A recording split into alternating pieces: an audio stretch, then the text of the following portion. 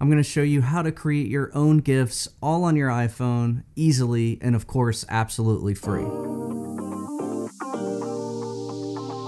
Hey guys, Joe here. We all love to use GIFs on our socials, whether it be Twitter, Instagram, or even just when sending simple text messages to our friends and family. The GIFs that we do use are usually just baked into the app which we're using, and that's fine if that's what you choose to do. But let's just say you want to make your own GIF to use instead of all the GIFs that everyone else is using all the time. Do me a favor real quick and leave a comment and let me know how many times I've said the word GIF already in this video.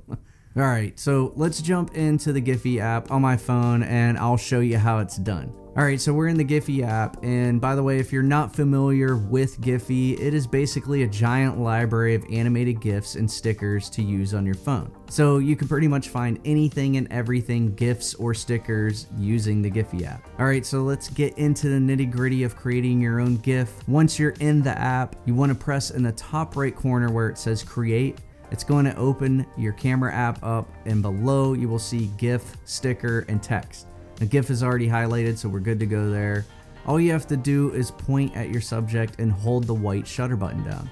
Now while you're doing this, you'll see a red border that starts going around the screen. Basically, that's just showing how much time's going by of the short video you're making. Now once this is complete, you have some options from cropping, cutting, adding filters, stickers, and text to your GIF. Now after you add everything you want, just hit the arrow in the bottom right of the screen and it'll do its thing and you can then see the shared screen.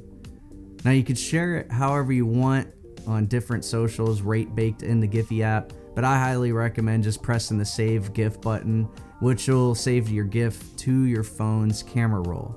And then you can go and share it wherever you want, whenever you want, anytime. It's always saved there. That's what I do. So that's pretty much it. So get out there and get creative with making your own GIFs on your phone.